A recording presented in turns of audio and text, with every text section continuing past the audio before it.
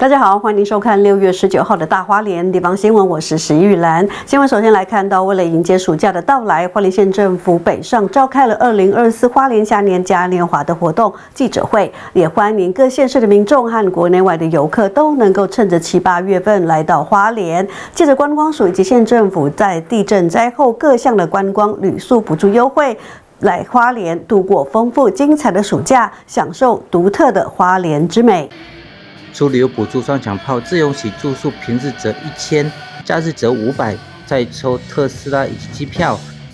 船有县政府补助三天晚上四点五万元，中央补助两万元，更汇集县内从北到南的珍珠景点以及十八条推荐旅程，透过与中央与县内观光相关协会与业者的携手合作。六月初端午假期，各大观光旅馆住房率已经回升到近三成，游客已经逐渐回流。期待二零二四花莲夏令嘉年华演唱会的完整卡司，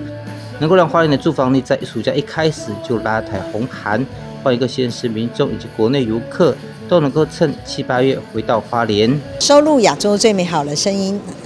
收录亚洲最美好的声音，尽在夏令嘉年华。夏令嘉年华这个呃活动已经行之将近二十五年了。那呃每一次都是第一个阵容最大，而且是最经典的声音，以及我们卡斯最强，而且含金量最大最高。那我们在这几年也不断的求新求变，希望让所有的人都能够来到花莲，享受一个音乐的美好的盛宴。所以在今年我们的七月三号到七月七号啊。夏天嘉年华即将来展开，而我相信卡斯就在我们的后面，看到非常非常的这个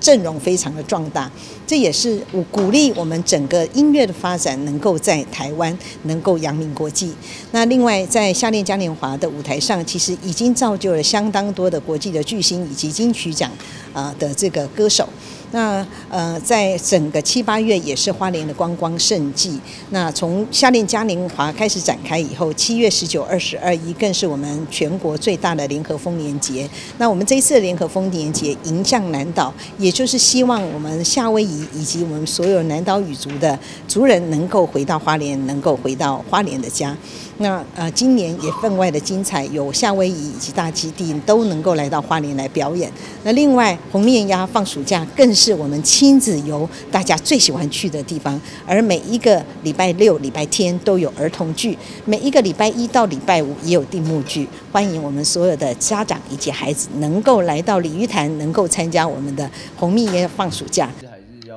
花莲县政府观光旅游处表示，花莲暑假期间除了夏令嘉年华演唱会活动。还有七月三号到八月十一号在收丰鲤鱼潭，二零二四花莲红面鸭放暑假，有红面鸭部落守护猫头鹰，花莲蟹鸟助理在鲤鱼潭面上演出，每晚更有大小朋友们喜爱的精彩剧场表演，还有场次衔接的星空烟火秀、无人机秀，欢迎亲子合家利用暑假期间到访。记得九于台北市报道。